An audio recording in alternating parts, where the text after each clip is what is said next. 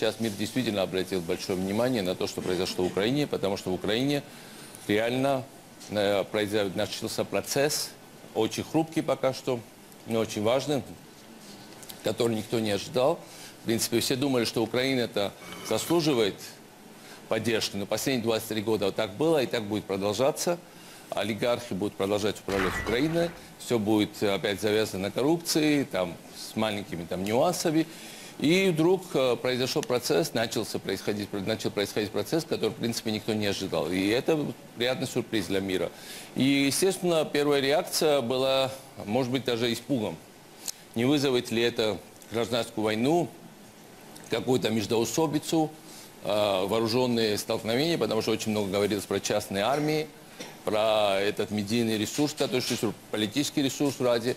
Я думаю, что все вздохнули с облегчением на этом этапе, потому что э, того худшего сценария, который все ожидали, точно не произошло. Все пошло намного лучше, чем ожидали, но, конечно, это всего лишь мы находимся в начале этого процесса. В этой стране 23 года все происходило именно так. В этой стране олигархи решали, кто должен быть популярным, кто нет, через свои медиа. Они должны были решать, кто должен быть выдвигаться на выборах, кто нет. Кто должен был побеждать, кто нет.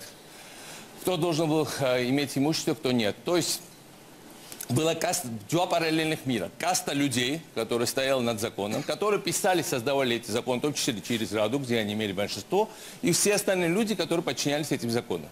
Когда им на этой неделе президент в первую очередь, и потом остальное правительство начало объяснять, что вдруг как почему-то После того, как случился Майдан, кстати, и это уже был второй Майдан в Украине, они наконец-то должны жить по законам. Они наконец-то все должны быть под законом. Конечно, для многих неожиданно, для меня это оказалось неожиданность. Но я хочу сказать, что просто я сегодня смотрел состояние э, коллегию Министерства внутренних дел. Мне очень понравилось то, что сказал министр Аваков.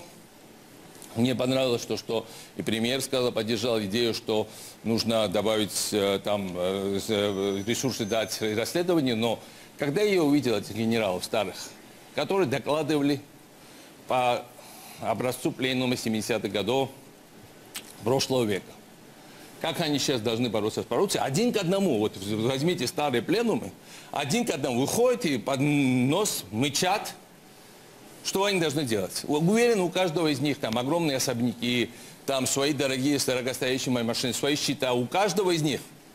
Вот как раз, когда они говорят про совок, вот этим совком пользовались эти олигархи. Через этот совок, через эти щупальца они делали все эти дела.